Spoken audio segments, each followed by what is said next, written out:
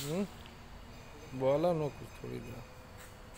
video हमको बना लेंगे